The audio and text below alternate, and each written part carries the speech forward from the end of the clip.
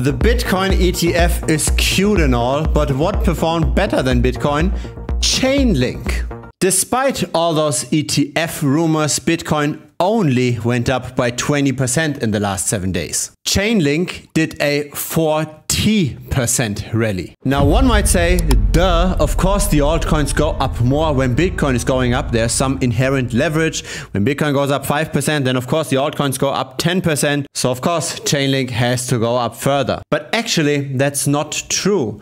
The altcoins underperformed Bitcoin for quite a while, including during this rally led by the Bitcoin ETF rumors. This here is a chart of total 3 divided by total, which went down in the last month by 11%. This is the fraction of all of the altcoins within the crypto space. So total 3 is cryptocurrencies market cap except Bitcoin and Ethereum. And we take that as a fraction of all of crypto. And as we can see, this went down. Now, the altcoin dominance in aggregate went down in the last month. Link dominance, Chainlink dominance went up. Look at this. This is the same time period. This is link.d. So Chainlink is clearly going against the general market here. It's doing much better than the rest of the altcoin market. The first part of the rally had been started by announcing the CCIP, which helps connecting different blockchains, but also the blockchain ecosystem with traditional finance. But it looks like after that, a lot of this had to do with technicals. There are news around tokenizing assets, etc., but it's not that big of a news to justify that rally. So let's do that. Let's look at the technicals. Let's look at relative evaluation of Chainlink to Bitcoin, to Ethereum, and of course to the entire market. Are there some resistances and supports that might justify this and when could this turn around? This is a chart most people look at. Simply Chainlink in US dollars and this did see a breakout against this resistance here. The issue with charts that simply just look at US dollar valuations is that you have a lot of this macro in there. So again, when Bitcoin goes up, the tendency for altcoins is also to go up and vice versa.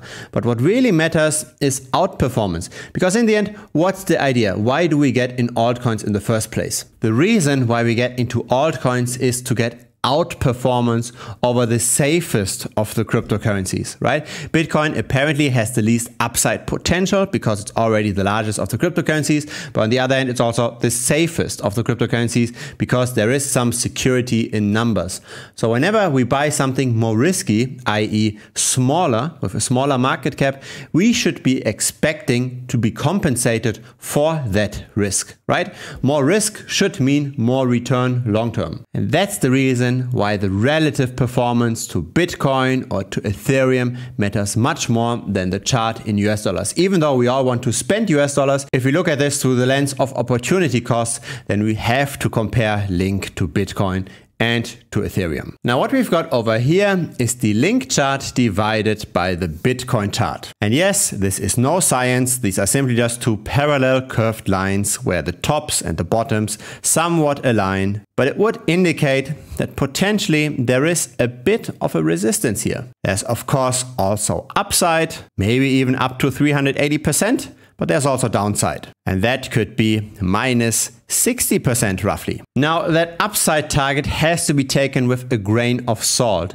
and that's because the supply of Chainlink went up by quite a bit in the last year by 13%, but in the last three years, supply increased by more than 50%.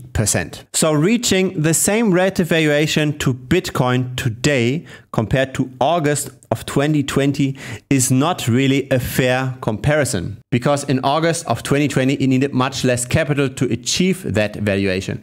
If you increase the supply, you need more capital to achieve the same price. So a 50% drop from that all-time high, which would lead us roughly to this spot here. That would equate the same kind of capital in Link because of that supply expansion.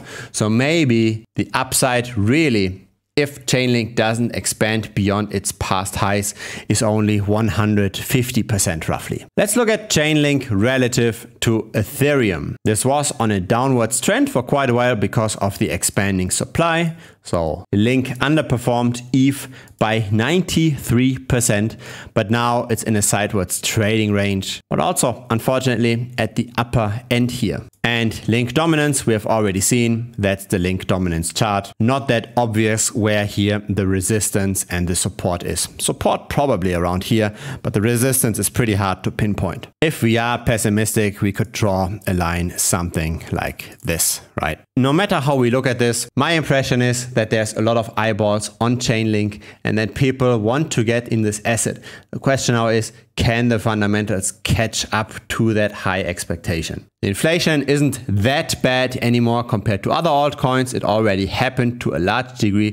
13% in the last 12 months isn't that bad. And there is continued technical development. Chainlink is integrated in pretty much any DeFi platform and it tries to get more and more adoption outside of its current usage of just being a price oracle for DeFi. The tokenomics overall are now much better than they used to be three, four, five years ago. I do see Link as a blue chip within crypto, but I also don't necessarily think that it will instantly 10x from here. It's always a game of risk versus reward. Overall, the altcoin market is doing pretty poorly. Chainlink is able to somewhat withstand that. I don't short the asset just because it's now highly valued because there is something behind all of this. But with the current prices and the current resistances, I'm also pretty cautious to jump on this at this moment. But feel free to share what you think about all of this either down in the comments or in Telegram. Link for Telegram is down below.